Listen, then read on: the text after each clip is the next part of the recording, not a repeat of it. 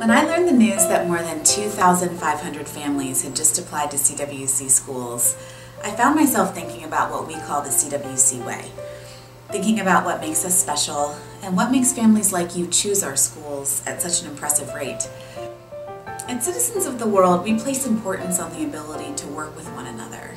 We talk about empathy, compromise, and respect, and we teach these things purposefully and explicitly.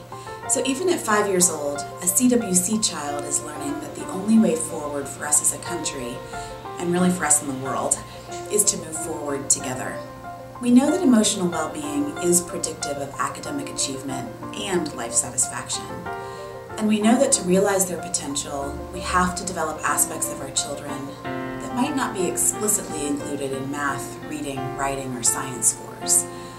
To give you an example of what I'm talking about, when second graders on a Silver Lake playground felt intimidated by fourth graders, they didn't just feel bad or complain, as many of us as adults might have done.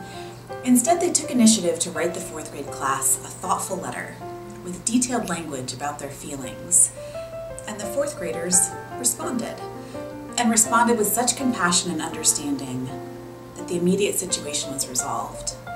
But the fourth graders didn't stop there.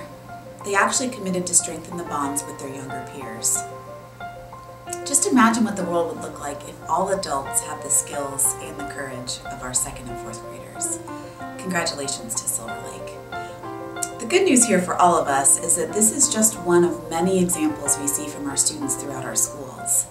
In fact, we're honored to be one of the first organizations we know of to measure things like whether or not children are connecting with one another, whether or not children are isolated within their classrooms, and whether children recognize how others are really feeling in their interactions.